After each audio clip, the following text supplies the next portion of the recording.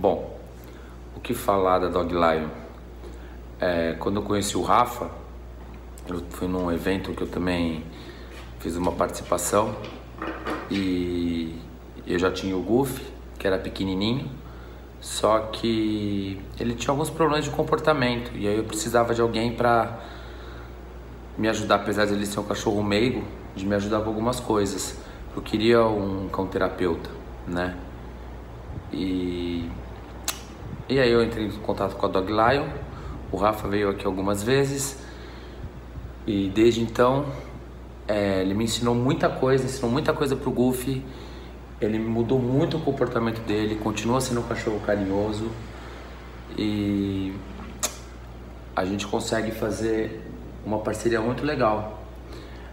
É, ele sabe fazer muita coisa, ele consegue se comportar perante as pessoas.